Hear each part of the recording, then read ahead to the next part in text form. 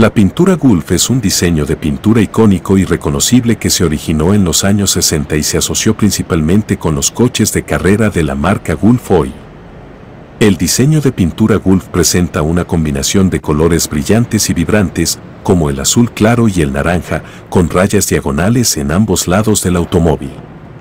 El diseño se hizo famoso gracias a los éxitos en las carreras de automóviles de marcas como Ford, Porsche y Aston Martin que lo utilizaron en sus coches de competición.